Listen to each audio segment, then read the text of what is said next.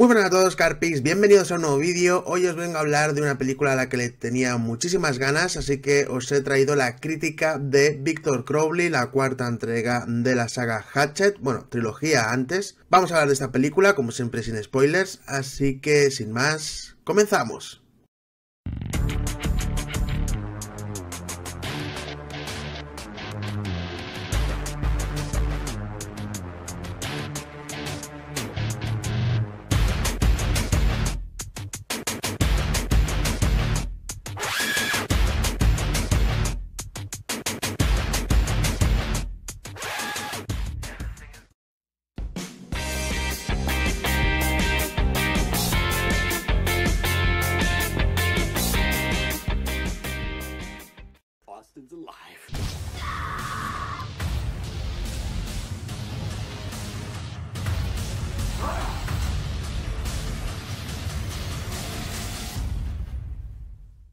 La saga de Hatchet es una saga que no ha llegado a España, y como imagino que esta tampoco vendrá, he decidido verla ya.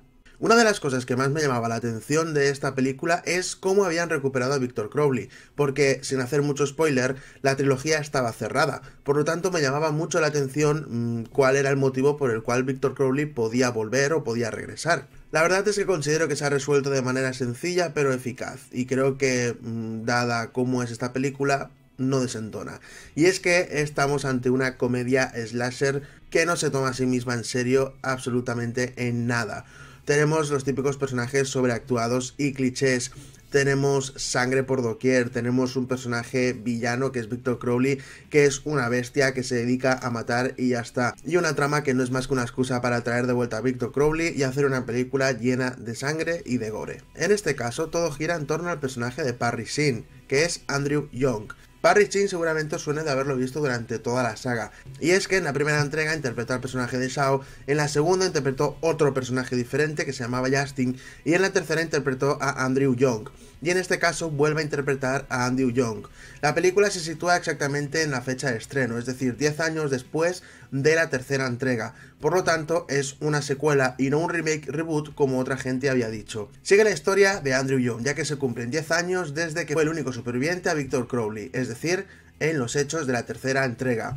Por este motivo decide sacar un libro en el cual cuenta cómo sobrevivió y cómo fue su experiencia. Pero su representante, que no es nada más y nada menos que Ángela de Campamento Sangriento, Felisa Rose, decide que es hora de volver a ese lago para hacerles una entrevista allí y así ganar un poquito más de dinero. Y aquí digamos que es donde comenzaría todo, ¿no? Él se junta con diferentes personajes y acaban todos en el pantano a merced de Victor Crowley. La película inicia de una forma genial, tiene un inicio en el que se nos presenta a Victor en el año 1962 y es una escena bastante cachonda. Luego ya nos traen al presente y nos hacen un pequeño prólogo de quién es Victor Crowley que se ha contado durante toda la trilogía, pero esta vez lo cuentan en forma resumida a través de una voz en off de una niña que queda muy muy bien. Kane Hodder vuelve a interpretar a eh, Victor Crowley y lo hace pues de la forma que mejor sabe, una bestia parda. Y las muertes son realmente brutales. Hay algunas que son una genialidad, aunque considero que hay menos muertes que en otras entregas, pero la verdad es que merece mucho la pena. Una de las pegas que le pongo es que tarda muchísimo en que Victor Crowley empiece su carnicería. Cuando ha pasado una hora de película, salvo el inicio, no ha aparecido Victor Crowley porque se dedica a presentar la historia de Andrew Young otra vez, a cómo le van las cosas y a presentar al resto de personajes que realmente nos importan poco porque sabemos que van a morir.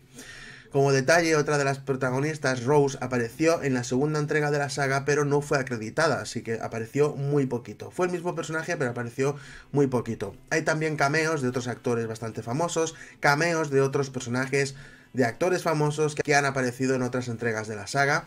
Hay una escena post créditos donde también hay un cameo y eh, hay una dedicatoria hacia el final que me ha parecido muy bonita, en la que le dedican la película a Wes Craven y a Romero. Los efectos son todo efectos prácticos, muñecos, eh, líquido que simula la sangre y demás. Se nota que son muñequitos porque es una película bastante barata, pero yo lo he pasado muy bien. Y si fuéramos objetivos, es una película a la que no le pondrías mucha nota, pero mira, a mí me gusta el género slasher, me gusta el personaje y me gusta que se lo hayan tomado así, se han tomado a risa toda esta saga y es como una especie de parodia a los slasher de verdad.